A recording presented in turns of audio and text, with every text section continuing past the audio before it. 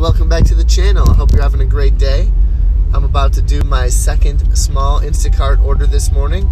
Both were for $9, uh, so it'd be a quick $18 in less than an hour. This is uh, nine items, and I'm just gonna go in and grab this real quick at Wegmans, and then just head to a regular uh, doctor's appointment real quick.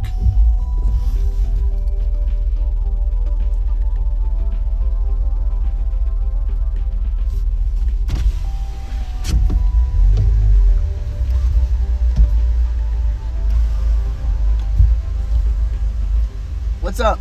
Saturday go for you guys? Fine. No. No, we crushed it.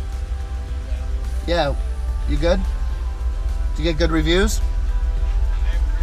Okay. Yeah, no, it was good. See ya.